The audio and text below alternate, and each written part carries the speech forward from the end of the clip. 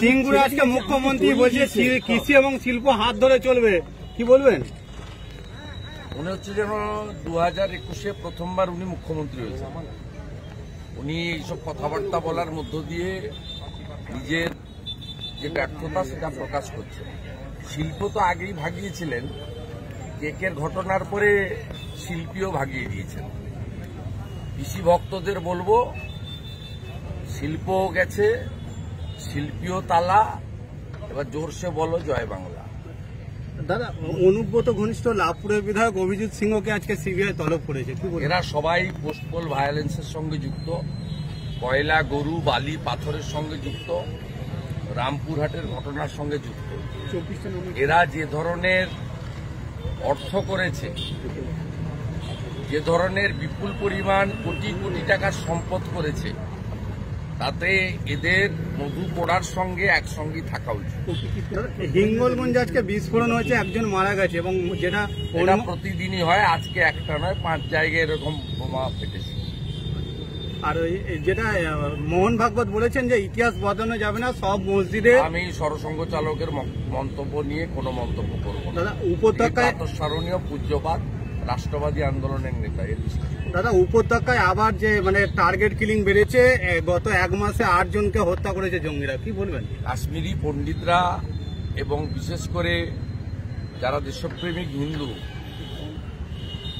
কাশ্মীরে আছেন তারা বরাবরই পাকিস্তান সমর্থক জিহাদিদের টার্গেট এর বিরুদ্ধে আমাদের শক্তিশালী প্রধানমন্ত্রী, শক্তিশালী স্বরাষ্ট্রমন্ত্রী, তারা নিশ্চিতভাবে ব্যবস্থা গ্রহণ করছেন। আজকেই মিডিয়াতে এসেছেন, আপনারা দেখবেন যে আমাদের এনআইএ যিনি চেয়ারম্যান অজিত দাবলের সঙ্গে স্বরাষ্ট্রমন্ত্রী মিটিং করেছেন এবং কীভাবে দেশপ্রেমিক মানুষকে কাশ্মীর উপত্যকাতে নিরাপত্তা দিয়ে সুস্থভাবে রাখা যায় তার জন্য ভারত সরকার অঙ্গীকারবদ্ধ এটা সবাই জানে। দাদা প্রিয়াঙ্কা বডরা তারও তো ওগুলো নিয়ে আমি বলব না আমি যেটা নিজে থেকে বলতে চাইছি সেটা হচ্ছে কামারকুণ্ডু রেলওয়ে ওভারব্রিজ। এটাতে আপনারা জানেন যে স্থানীয় এমপি লকেট চট্টোপাধ্যায়ের এটি একটি বড় প্রতিশ্রুতি ছিল ভারতীয় জনতা পার্টির এটা একটা প্রতিশ্রুতি ছিল। এবং এখানে ছেচল্লিশ কোটি টাকা মোট খরচ হয়েছে। তার মধ্যে আঠারো কোটি টাকা রাজ্য সরকার দিয়েছে। বাকি টাকা আমাদের ভারত সরকারের রেল দপ্তর এবং রেল কর্পোরেশন মিলে তারা ২৬ কোটি সত্তর লক্ষ টাকা দিয়েছে। তেরো কোটি পঁয়ত্রিশ লক্ষ করে।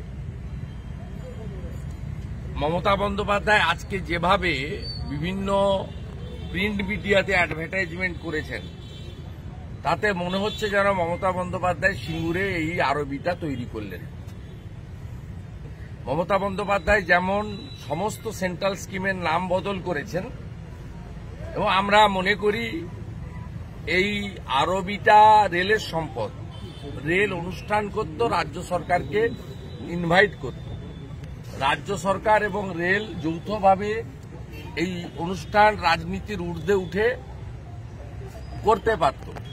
কিন্তু আজকে রেলের পরিকল্পনা উন্নয়ন এবং স্থানীয় সাংসদ লকেট চট্টোপাধ্যায়কে অস্বীকার করে, প্রধানমন্ত্রীর সরকার, রেল দপ্তর রেলমন্ত্রীকে অস্বীকার করে, যেভাবে কার্যত রেলের প্রজেক্ট ছিনিয়ে নিয়ে সিঙ্গুরকে সর্বশান্ত করে দেওয়া সিঙ্গুরের তিন ফসলি জমিগুলোকে ধ্বংস করে দেওয়া। সতেরো সালে সরষা ছিটিয়েছিলেন। গত বছর জেসিপি মেশিন দিয়ে মাছ চাষ করার জন্য পুকুর খোলা হয়েছিল। সরষা ফেল, মাছ ফেল, সিঙ্গুরের শিক্ষিত যুবকরা হতাশাগ্রস্ত হয়েছে। তাদের বয়সও পেরিয়ে গেছে, চল্লিশ পেরিয়ে গেছে যারা সাধারণ ক্যাটাগরির। তাদের চাকরির আর কোনো সুযোগ নেই। মমতা ব্যানার্জি এই কাজটা করে আজকে আরবিটাও ছিনিয়ে নিয়েছেন। আগামী দশ তারিখে রেলের পক্ষ থেকে ওখানে প্রধানমন্ত্রীকে রেলমন্ত্রীকে ধন্যবাদ জ্ঞাপন করে রেল অনুষ্ঠান করবে। আমার সঙ্গে রেলমন্ত্রীর একটু আগেই কথা হয়েছে। ওখানে আমি এবং স্থানীয় সাংসদ লকেট চট্টোপাধ্যায় সহ যাদের উদ্যোগ পরিশ্রমে পিটিশনে এই আরবি কামারকুণ্ড তৈরি হয়েছে তারা আমরা থেকে প্রধানমন্ত্রী এবং তার সরকারকে আর রেলমন্ত্রীকে আমরা ধন্যবাদ জ্ঞাপন করব। দাদা আজকে উদ্বোধন হবে ওখানে আবার দ্বিতীয়বার। আপনি আমার কথা শুনুন আপনি কোন চ্যানেল? এবিপি আনন্দ। আপনি আমার আগের কথাটা একটু চালিয়ে দেখেন। মমতা উত্তর আছে।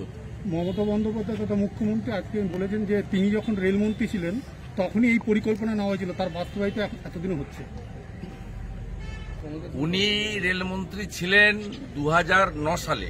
মানে লাস্ট আগে তো অটল বিহারী বাজপেয়ীজি জয়াতে ওনার অনুকম্পায় ওনার সৃষ্টি, মমতা ব্যানার্জির সৃষ্টি অটল বিহারী বাজপেয়ী আশ্রয় দিয়েছিল।